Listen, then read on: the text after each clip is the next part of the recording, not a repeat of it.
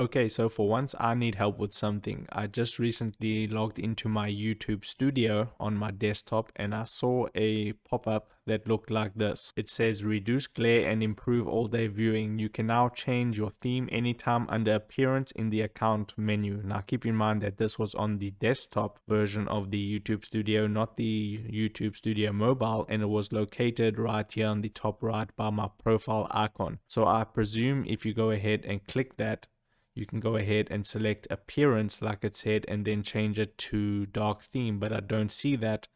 Just like you go ahead and go to from the home page you can see I have dark mode. If I click my profile icon at the top right and then I click on appearance you can see that it's dark theme so I presume it's the same process. If you click on your profile icon at the top right, it should appear here, but I must be missing something here because I don't see it. I've looked everywhere within the YouTube studio menus over here and everything like that, and I can't seem to find it. So if you know how to access this dark theme, which I'm really keen to get access to, drop a comment and let me know where I need to click and then I can also do an update video so everyone can know about it. So that's it from me. So if you can help me out in this video, drop the comment down below and subscribe to my channel for more and I'll see you in the next video.